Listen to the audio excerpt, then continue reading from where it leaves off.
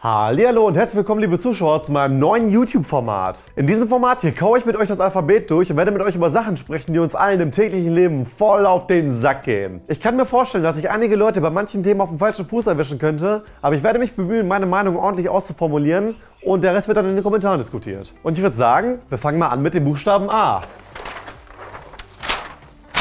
Wie Arche Internets. Intro. Jo, die Arche Internets. Wie kann man sie zusammenfassen? Satireforum, wollen das Wort Gottes auf extreme Art und Weise verbreiten, legen sich hin und wieder mit bekannten YouTubern an, beleidigen dabei alles Mögliche aus dem öffentlichen Leben und lehnen sich dabei manchmal viel zu weit aus dem Boot. Pardon, aus der Arche. Ich habe ja vor etwa eineinhalb Jahren schon mal über die Arche Internets berichtet. Damals hatte ich eine kleine Fehde mit ihnen am Laufen. Und zwar lautet das erste Kapitel, wen der Herr hasst. Künstler, Fahrradfahrer, Bewohner der Färöerinseln, Jugendliche, Hundebesitzer und andere Hexer. So haben wir zum Beispiel Kapitel über den Hassprediger Gronk, über den Unruhestifter LeFloid, über den Teufel in Person Julians Blog und auch über Fräulein V-Protokoll, aka Mrs. Vlog. Um die Zeit nicht vollends zu vergeuden, lese ich neben meine Bibel. Seitdem haben sie nicht mehr allzu viel Aufmerksamkeit von mir bekommen und deswegen neigen sie dazu zu übertreiben. Und ich erzähle euch jetzt mal, was ich damit meine. Das letzte Mal, als ich persönlich mit ihnen zu tun hatte, war Anfang des Jahres, als ich meinen Unfall hatte. Für die Neuen unter euch, Anfang des Jahres bin ich mit dem Röhrenfernseher in der Hand über eine Treppe gestolpert und mit der Hand durch eine Glastür gefallen. Ich bin damals daran wirklich fast verblutet und hatte einen einige Monate langen schmerzhaften Heilungsprozess vor mir. Leider lässt sich das Material dazu nicht mehr auffinden, aber ich garantiere euch, dass das, was ich euch jetzt erzähle, damals wirklich so passiert ist. Kurze Zeit, nachdem ich euch damals auf Twitter mitgeteilt habe, dass ich im Krankenhaus liege, hat sich irgend so Spast von der Arche Internets bei mir gemeldet, auf Twitter wohlgemerkt, und hat mir geschrieben, dass er es schade findet, dass meine ach so schmutzige Du-Röhre-Seele nicht in der Hölle gelandet ist. Boah, Alter, fick dich mal! Es gibt Satire und es gibt Satire. Wisst ihr, wie sehr es mich damals angekotzt hat, im Krankenhaus zu liegen und so eine Scheiße von so einem Idioten zu lesen? Aber das ist noch nicht das Einzige. Die schreiben weit mehr so ein Mist. Aber scrollen wir doch einfach mal über ihre Facebook-Seite, von der ich übrigens ein sehr, sehr großer Fan bin. So, hier haben wir sie schon. Äh, Leinenzwang für Kinder und Jugendliche. Frauen das Lachen verbieten. Äh, der Herr hasst Italien.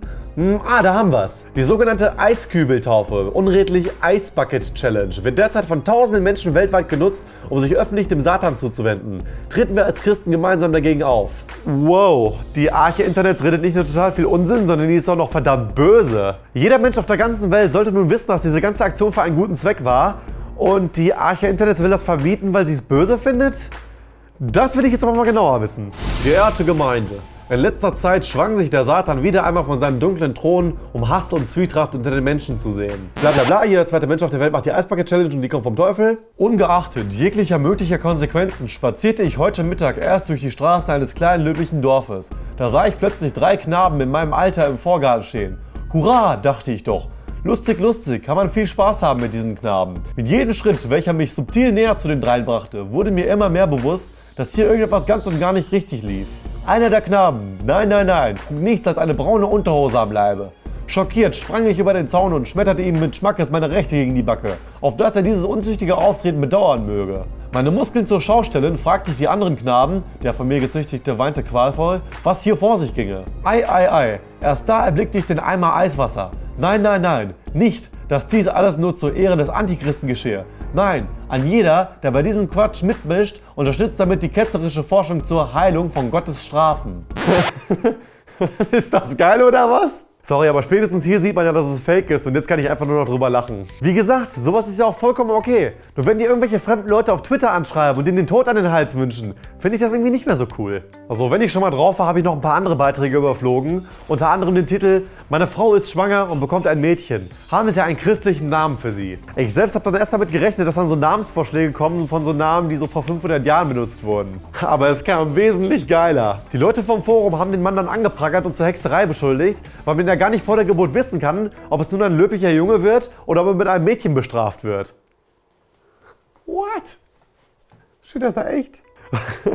Bei denen es auf jeden Fall immer richtig ab. Jetzt möchte ich aber mal von euch wissen, gefällt euch dieses Format? Soll ich damit weitermachen? Zeigt es mit meinem Vorwand des Daumen hochs oder Daumen runters. Was ist denn eure Meinung zur Arche Internets? Und welche Dinge mit A gibt es noch, die ihr total ätzend findet? Die besten Kommentare davon packe ich übrigens beim Buchstaben B in die Endcard. Die sieht übrigens so aus.